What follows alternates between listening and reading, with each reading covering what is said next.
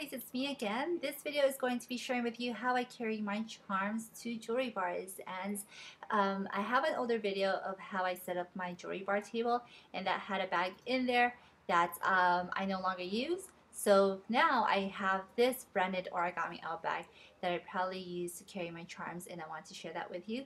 And so just go ahead and watch. So this is the bag that I use to carry my charms and the trays and the bigger trays that they're in.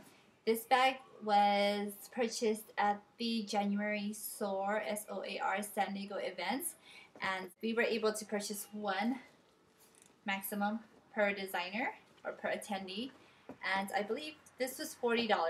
The lighting here is kind of bad but it's like a, it's more of a vintage aqua color. Really really pretty. It has this right here, the zippered front pockets. I put in my um, takeout menus and then it has pockets on the side right here. So I put in my business cards in there. And it has another pocket on this side right here. And sometimes that's where I put my phone and my card reader.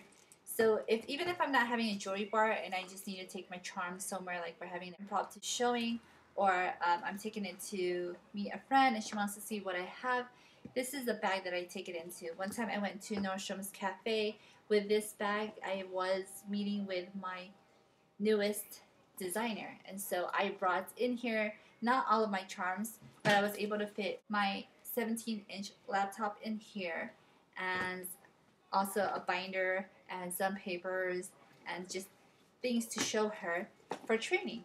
So anyway, let me go ahead and show you how I place my stuff in here.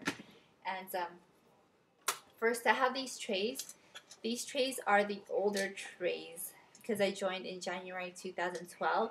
These were the trays that we had. So it's three down and six across. And they slide like this. And it is a gray color and the Origami Owl logo right there. And I label my trays according to the category. So this is a travel collection and then my numbers collection and on and on and on and on. These trays, I put them into these white ones. These are one inch plastic trays without liners. I bought them from nilecorp.com and I'm able to put three of these here and then these right here. These are for putting in charms. You can go ahead and give them to your guests and they can go ahead and put in their charms of choice here so they're not putting it in the palm of their hands and possibly dropping it that way. If you have the newer trays from Origami Owl, they're actually a bit wider. If you put one of the newer ones here, it would actually cover up most of the space. You wouldn't have the space right here, the white space. This goes into here like so, and they actually stack and kind of lock into place. So here I have three, and again, just like the other one, I have three of these here, and some of the votives right there. You can go ahead and put them in here like so. You can click them into place. And I should have another tray, but I didn't think I'd need these trays. I've sold it off and it's just a lot neater. When it's on the table, it's better to see several white trays as opposed to like gray trays. I don't know, but it, that's just a preference of mine. Um, yeah, white trays from Nile Corp. And then so this way you put in your toms right here, just fill it up with things that you need. You close it up.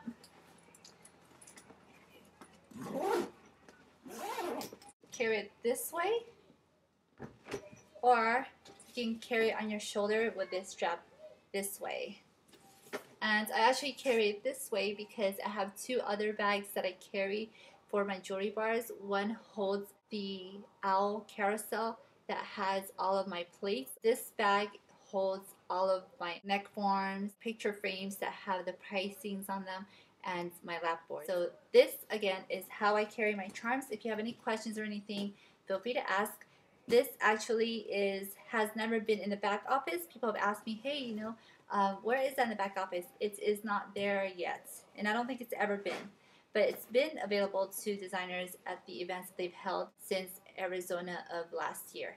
Um, I'm thinking they might have this again at the convention coming up in July in Arizona. So if you want one of these, go ahead and get one from there or ask a fellow designer to grab you one. This is the Origami Owl kind of I don't even know what it's called. It's just like origami owl luggage bag or something. Bag of awesomeness. Bag of awesomeness according to the hubby. I love it, and he's like, "Hey, you should probably get a couple of these in case this gets lost or um, it gets messed up or something, because I'm just prone to accidents." But anyway, um, I should. It's only forty dollars. Well, as of right now, it's been forty dollars, and uh, so grab one, and um, I will see you at convention.